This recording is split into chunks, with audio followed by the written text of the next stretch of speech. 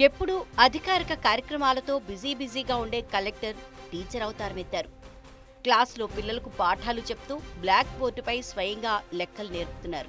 విద్యార్థులకు ప్రశ్నలు వేసి వారి ప్రగతిని తెలుసుకున్నారు.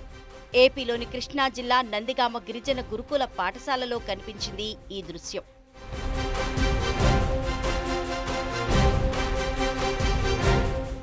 విజయవాడ సబ్ కలెక్టర్ ప్రవీణ్ చంద్ నందిగామ గిరిజన సంక్షేమ గురుకుల బాలికల పాఠశాలను సందర్శించారు.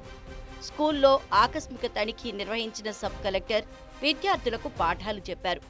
బోర్డుపై పలు ప్రశ్నలు రాసి సమాధానాలు రాబట్టారు. విద్యార్థులకు అర్థమయ్యే విధంగా మ్యాథ్స్లో మీన్ అంటే అర్థమేమిటో వివరించి క్లాస్ చెప్పారు.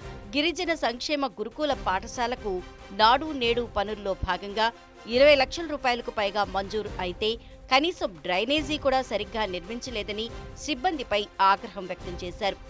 పంచాయతీరాజ్ ఏఈ ప్రిన్సిపల్పై విచారణకు ఆదేశిస్తామని పాఠశాలలో నిర్మాణాలు నాసిరకంగా జరిగితే కఠిన చర్యలు తప్పవని హెచ్చరించారు.